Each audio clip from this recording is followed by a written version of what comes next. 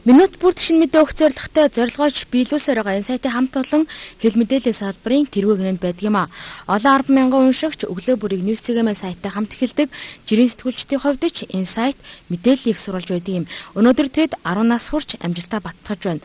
Өдөрт дотоодын 140, гадаадын 100 гаруй мэдээ мэдээллийг бэлтгэж мэрэгжлийн ёс зүгээ баримтлан ажиллаж байгаамаа.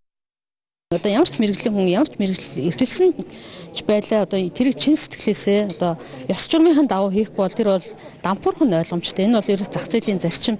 Тэгээ бидний энэ одоо 10 жилийн өндөрлгөөс одоо ингээ харахад 10 өнөөдөр ингээ харахад бидний энэ багч гисэн ингээд энэ хүрсэн амжилт нь ерөөсөө бид нар мэрэгжлийн байж чадсан, ёс зүйтэй байсан. Энэ энэ зарчимдаа л одоо үнж энэ тулгуурлаж ирсний л одоо үр дүн өнөөдөр гарч байгаа болов уу гэж бодож байгаа.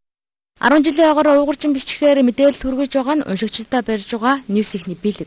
Мөн дүнжлэн 2007 оноос хойш хит ньюс үйлдсэн мэдээний архиваас хамгийн их таалагдсан, хамгийн их хүн уншсан, хамгийн их хайлтын системд олцсон зэрэг сонирхолтой номинацуудыг гаргаж шалгаруулах гэж байна. 7 жилийн архиваас тооцооллын системээр шалгаруулахыг сайтын үүсгэн байгуулагч хэллээ. Тэгээ шагнал бол одоо миний хувьд бол хамгийн одоо үн үнэтэй шагнал болж чадхаар болов гэж бодож. Тэр шагналыг авах хүмүүст бол яагаад вэ гэхээр энэ шагнал маань өөрөө 7 жилийн Ньюзмэний өгдлийн сан архив дээр суурилсан юм шагнал. Нэгсэндээ 7 жилд хэнийг хамгийн их уншсан бэ? 7 жилд хэн гэдэг хүнийг хамгийн их онлайн дээр хайсан бэ?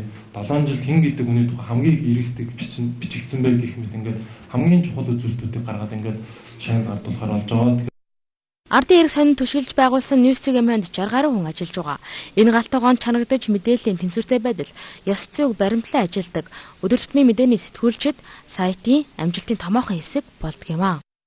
Манай агентлагийн хаант болон Монгол улсад өрнөж байгаа бүхий л үйл явдлыг бусад хэвлэл мэдээллийн хэрэгслээс төрүүлж мэдээлэх, за цензуртай мэдээлэх бүхий л үйл явдлыг уншигчдад ерөөсөө цаг алдалгүй цаг тухайд нь хүрэхин төлөө манай хамт олон зорж ажиллаж байна. Ингэч ажиллагаараа би хамт олноороо бахархтаа өдөр тутам одоо өдөр хідэн 10-аар нь одоо мэдээг бэлтгээд энэ бол миний ажил боловч энэ болгон дээр хариуцлагатай ханддаг. Тэгээд энэ нь бас манай хамт олонний тий удирдлагын зүгээс бас биднэрт ингэж төлөвшүүлсэн нэг ёс зүйн одоо зарчим юм да. Харин Ньюс ихний цаашдын зорилго бол Монголын түүхийг ирэх 20 жил, 30 жил, 100 жилч бичлэлцээр байх болно гэдгийг амлалаа. Сайтад видео мэдээ байршуулдаг нь цаашдын зорилгынх нь эхлэл цэг гэж болох юм. Ньюс агентлагийн ерөнхий захирал интернетэд суурилсан телевиз байгуулах бодолтой байдгаа хуваалцлаа. Интернет суурьтай телевизийн төсөл бас мэдээллийн телевизийн төсөл хийх тухай бодож үзэж байгаа.